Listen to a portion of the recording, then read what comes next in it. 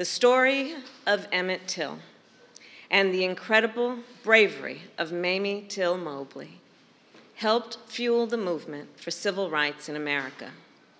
When I sat with my family on the night of terror, when Emmett Till, our beloved Bobo, was taken from us, taken to be tortured, brutally murdered, murdered. Back then, when I was overwhelmed with terror and fear of certain death in the darkness of a thousand midnights, in a pitch black house on what some have called Dark Fear Road.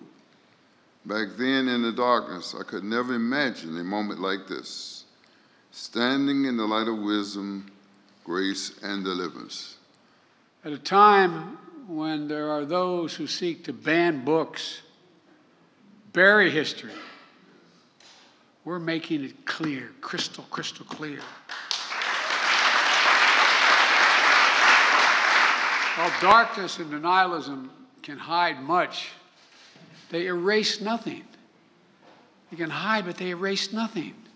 We should know everything the good, the bad, the truth of who we are as a nation.